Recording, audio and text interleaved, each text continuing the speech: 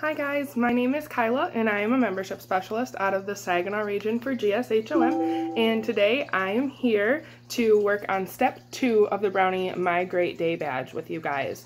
So today we are going to be doing a really fun hands-on activity craft. So step two is to sort out your stuff.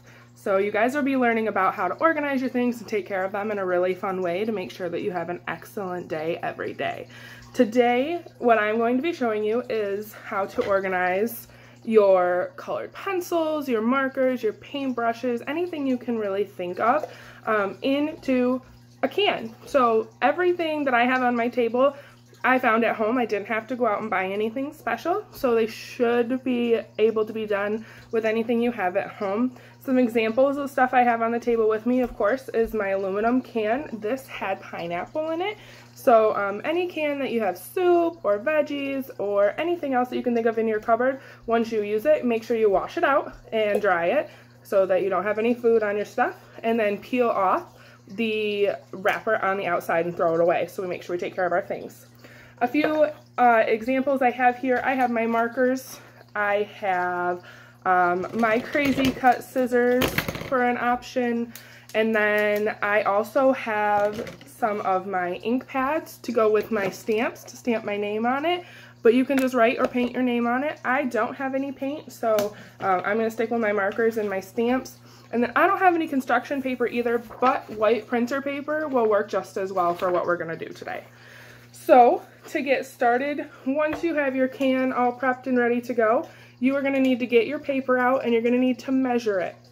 So you are going to need scissors for this, so please make sure you ask your parents for permission to use them and for permission to make sure that this is safe and doesn't cut you. Um, some can openers will open them uh, so that they're sharp and we don't want you guys to cut yourselves. So you're going to take your piece of paper here, just regular sheet that I have, and you might need to ask for help to hold both pieces, hold the can and the paper. And you are just going to wrap it around your can. And as you can see, one piece of white printer paper actually wraps around the whole can, so most sheets of paper should. And then you're just going to take a pen or a pencil, whatever you have, and find the top of your can. You can see right there is the top. And I'm just going to make a little mark.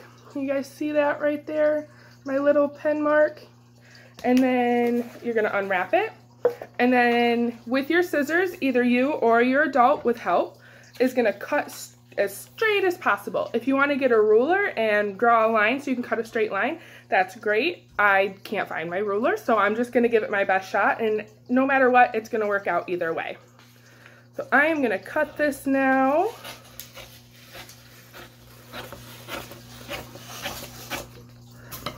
Ta-da! See, it almost cut your paper perfectly in half for the size of my can. Some of your guys's might be a little bit smaller because I know my pineapple can's a little bit taller than regular cans. So you can see that my paper does fit around like that, okay? Um, so you are going to need glue at the end to glue this on here, but I'm going to recommend that you do it flat on the table first, to decorate it however you would like to, and then glue it on so that you aren't trying to deal with the bumps on your can. Then you'll get funny designs. Unless you want cool designs from the from the from the grid, go right ahead. Whatever you guys want. So there's lots of things you can do. You can paint, you can color, you can draw, you can use stamps. Um, I'm going to give you a real quick example of one that I would put together and then I will show you how to put it on there and then you guys are going to be able to either follow along with what I do or you can make it however you want. I, if I had glitter, would put glitter on mine, but I know you need to ask before you use glitter too. So please make sure you have your parent permission before you guys do anything so that you can um, make sure you're not using something you shouldn't be. So I'm going to pull out my favorite colored marker here, and it's green.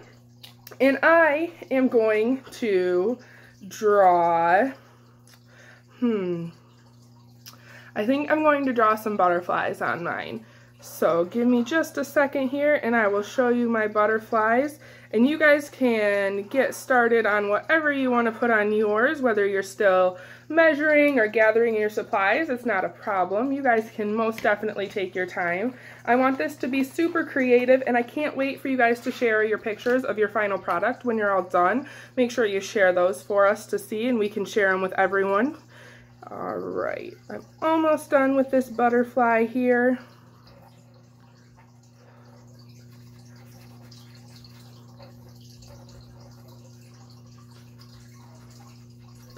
And remember, you don't have to draw butterflies. You can draw or paint or stamp or use stickers if you have stickers on yours. Um, anything you want. If you're drawing or painting, maybe you want to put Girl Scout cookies on there because we all love our Girl Scout cookies.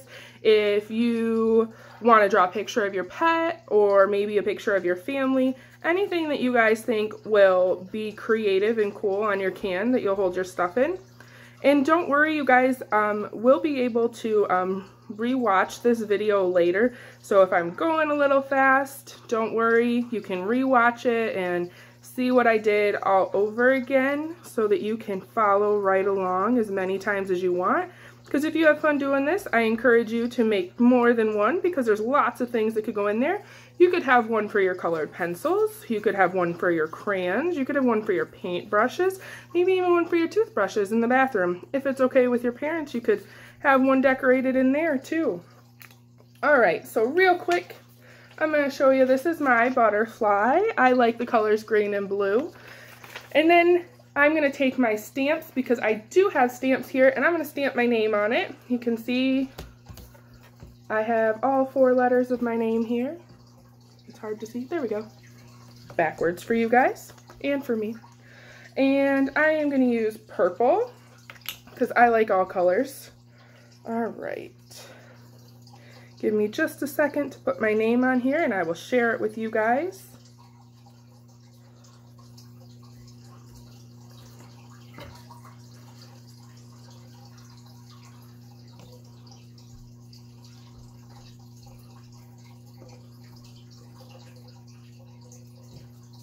If you guys are using stamps and ink, Please make sure that you're really careful because they are messy. Even me as an adult have um, managed to make a mess with mine. You can see that I have ink on my hands and kind of all over my table, but I laid down extra pieces of paper so that I made sure that I wasn't making a mess to make it easy for cleanup. All right, and then here's my name on this. And then if I'm all done, I can go ahead and put it on my can. If I wanted to add more butterflies, I definitely could do that. Um, but the, the options are endless for you guys. Um, I'll show you another one. Before we got started on this video, I made an example of a different one if you wanted to take more time. This one took me about 20 minutes to do. Um, I traced some circles with my circle tracer, or you can use your can, um, because I really like polka dots. And I made this one. And I think this one's pretty neat too. Gave me lots of color because I like different colors.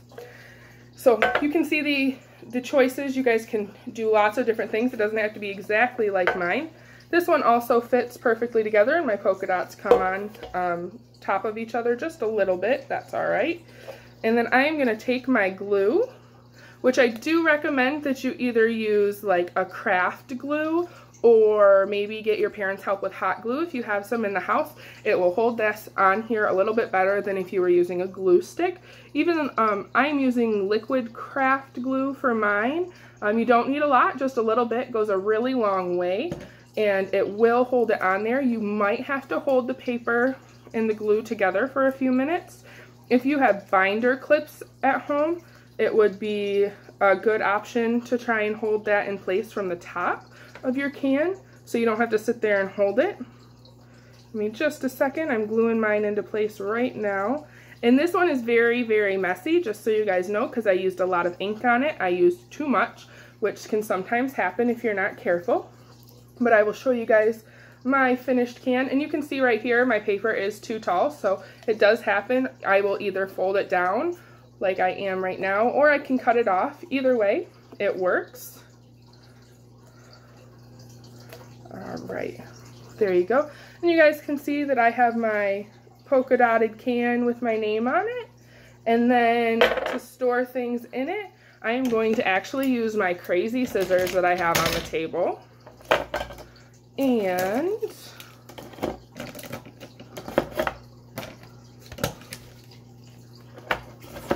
there we go. It's pretty colorful now, especially with those scissors in there. So you guys can see how I really easily just organized my stuff. It took us uh, about 10 minutes um, to just kind of get the idea of putting this together. So you can see how easy it is to make sure your stuff is picked up and taken care of in a really fun way and making sure that we are keeping our stuff picked up so that we can keep playing and doing things all day long without having to stop and pick up our messes. If you guys um, want to do this with other things, please go right ahead and do so with your parents' permission. And then again, make sure you share your photos with us and let us know what you are putting inside of your cans so we can see all of your great ideas.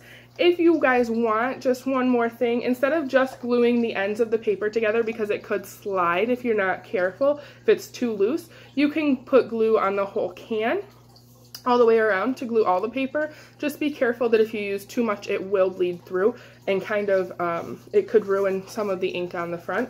Um, but that is totally up to you guys. If you use hot glue, it won't do that nearly as bad as if you were using like my liquid glue.